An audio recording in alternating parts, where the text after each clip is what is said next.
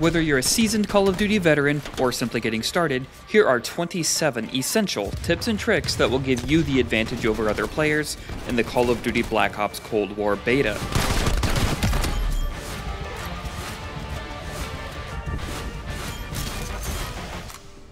So let's start off with adjusting your settings, as the slightest tweaks can really impact the way that you play the Cold War beta.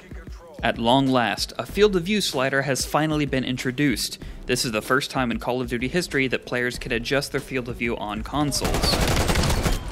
When adjusting the FOV slider, which you will find in the settings, keep in mind that the higher you set the bar, the higher the performance cost. While it's entirely personal preference, we found that setting the slider between 100 and 105 was a great balance.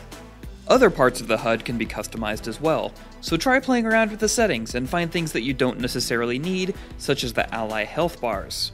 Next, be sure to turn off motion blur, as it can make it difficult to see what's happening. Being able to hear your opponents is crucial, so if you're struggling to hear them, try turning your audio preset setting to high boost. This will make enemy footsteps even louder. Enabling the slowdown and strafing aim assist setting can drastically help your accuracy, but you'll still have to earn those kills yourself. Finally, there is no better time than the beta to test your preferred sensitivity, as you will be surprised at just how much of a difference that a small tweak can make to your gameplay experience. Before we delve any deeper, throw everything that you know about Modern Warfare and Warzone right out the window, as we cannot stress enough that Black Ops Cold War does not play like either of these two games. Cold War instead rewards those that play slow and smart, as you will want players to come to you. When it comes to traversing the maps, you will want to avoid traveling through highly populated areas. You will quickly notice that all of the maps encourage you to meet in the middle. Instead, outsmart your opponents by scouting along the outskirts, slowly picking them off as they cross your path while heading towards the middle. Much like other Treyarch games, the time to kill is longer than usual. We've estimated that the TTK is approximately an extra shot longer when compared to the likes of Modern Warfare and Warzone. The new TTK will take a while to get used to, so in the meantime, just remember to keep shooting until your enemies are actually dead. And of course, aiming for the head will always kill more quickly. Keep that in mind when landing your shots. Score streaks have received an overhaul as they will no longer reset on death but deaths will reset your multiplier. These multipliers are important as the score streaks carry some hefty prices. You won't start earning big points until you've reached at least a 4 kill streak. And of course, a higher KDR will mean faster score streaks. So don't go dumping lives into the enemy opponents.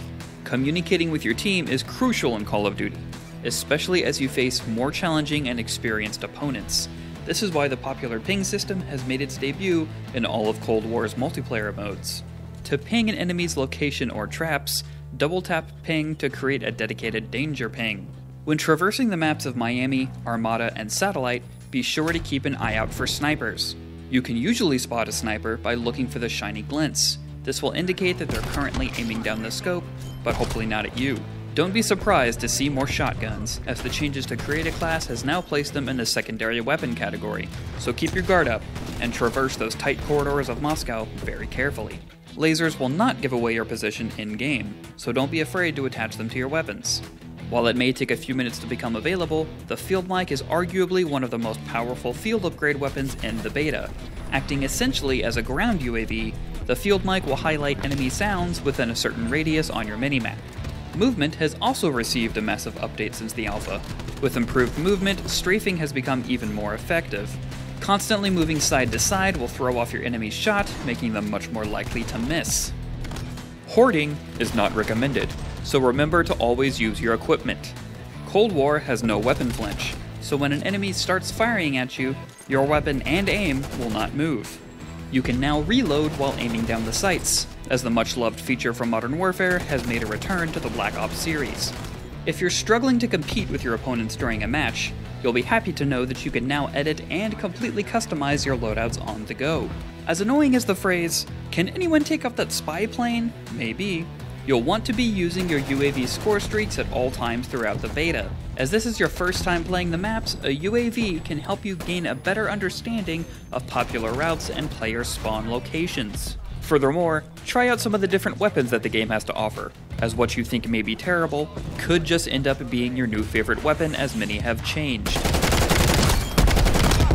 Here's your friendly reminder to reach level 10 before the beta event ends on Monday, October 19th, as you'll earn yourself a free Mutual Animosity weapon blueprint for when the game launches on November 13th. With all that being said, the biggest tip that we can leave you with today is to simply have fun with the Cold War beta. Forget your KDR and in game stats, as nothing ends up transferring to the main game at launch anyway. Instead, use this time to perfect your settings and learn the ins and outs of all the different maps and modes that the beta has to offer. For even more information about the beta, be sure to check out the official IGN wiki guide for Call of Duty Black Ops Cold War. Thanks for watching, and for everything else Call of Duty, keep it locked to IGN.